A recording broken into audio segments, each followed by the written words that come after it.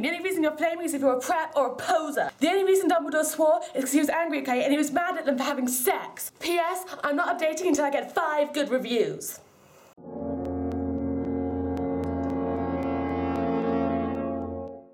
Dumbledore made Draco and I follow him. He kept shouting at us angrily. You ludicrous fools. I started to cry tears of blood down my pallid face. Draco comforted me. Dumbledore took us to Professor Snape and Professor McGonagall, who were both looking very angry. They were having sexual intercourse in the Forbidden Forest. He yelled in a furious voice, Why did you do such a thing, you mediocre dunces? asked Professor McGonagall. How dare you? demanded Professor Snape. And then Draco shrieked. Because I love her.